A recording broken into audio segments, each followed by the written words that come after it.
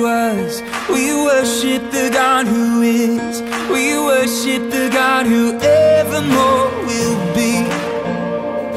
He opened the prison doors. He parted the raging sea. My God, He holds the victory.